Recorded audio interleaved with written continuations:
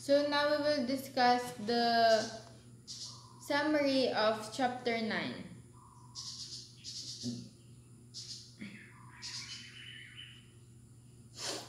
So, transport layer. The data networks and the internet support the human network by supplying reliable and communi- reliable communication between people. On a single device, people can use multiple applications and services such as email, the web, and instant messages to send message or retrieve information. Data from each of these applications is packaged, transported, and delivered to the appropriate application on the destination device. The processes described in the OSI transport layer accept data from the application layer and prepare it for addressing at the network layer. A source computer communicates with the receiving computer to decide how to break data, break up data into segments, how to make sure none of the segments get lost, and how to verify all the segments arrive.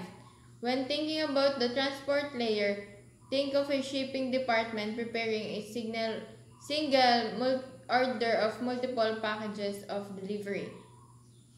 Role of the transport layer. The transport layer is responsible, responsible for establishing a temporary communication session between two applications and delivering data between them. An application generates data that is sent from an application on a source host to an application on a destination host. This is without regard to the destination host type, the type of data over which the data must travel, the path taken by the data, the congestion on a link or the size of the network, The transport layer is the link between the application layer and the lower layers that are responsible for network transmission. Conversation multiplexing.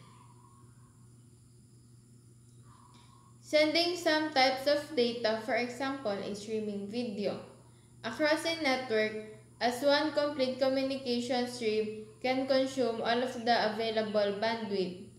This will then prevent other communications from occurring at the same time. It would also make error recovery and retransmission of damaged data difficult.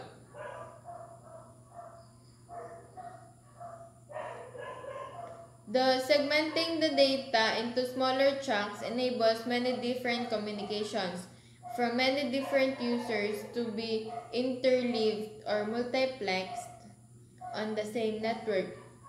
To identify each segment of data, the transport layer adds a header containing binary data organized into several fields.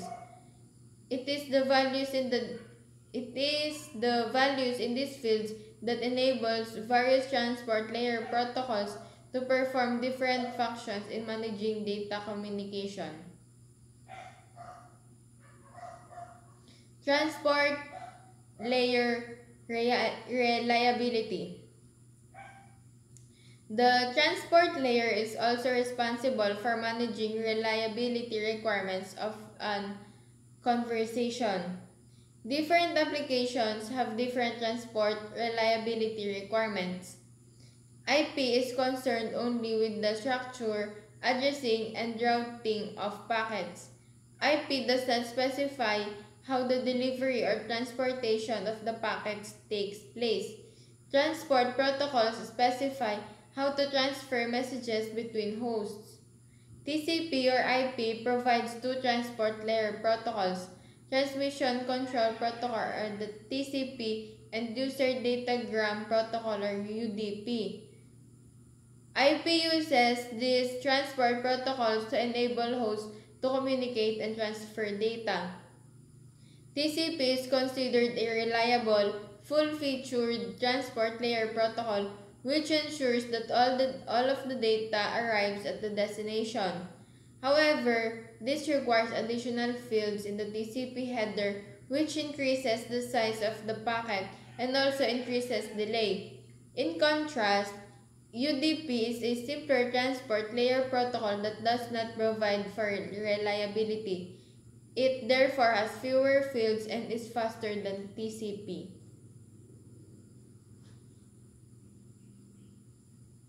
So, Chapter 9 Transport Layer The transport layer provides transport-related services by first, dividing data received from an application into segments. Second, adding a header to identify and manage each segment. Third, using the header information to reassemble the segments back into application data. And the last thing is passing the assembled data to the correct application. So UDP and TCP are common transport layer protocols.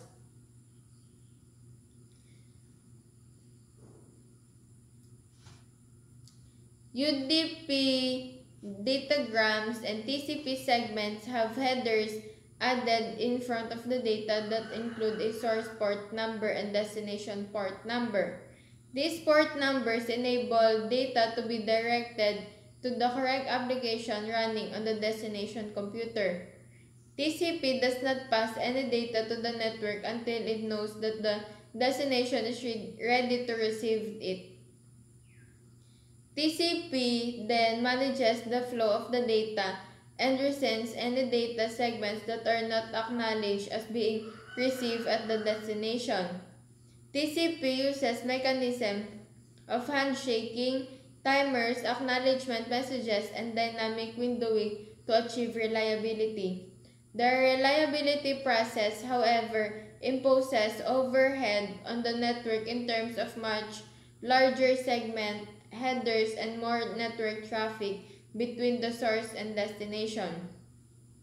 If the application data needs to be delivered across the network quickly, or if network bandwidth cannot support the overhead of control messages being exchanged between the source of the destination systems. UDP would be the developer's preferred transport layer protocol. UDP provides none of the TCP reliability features.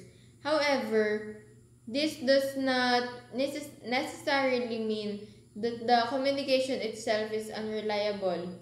There are many mechanisms in the application layer protocols and services that process lost or delayed datagrams if the application has these requirements. So the application developer decides the transport layer protocol that the best meets the requirements for the application. It is important to remember that the other layer all play a part in data network communications and influences its performance. So that's all for the summary of chapter 9 now we will discuss on the next video the summary of chapter 10. So we have two last chapters. See you.